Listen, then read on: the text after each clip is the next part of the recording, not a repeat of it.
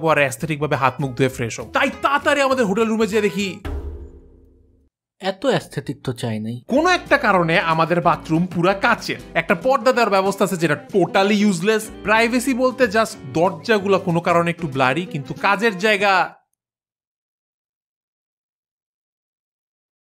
yo you know was the worst part বাথরুমটা আমার বেডের একদম পাশে। শব্দ গন্ধ দৃশ্য সব পাওয়া যাবে। আমি জানি আপনারা মনে করতেছেন আমি বাড়ায় বাড়ায়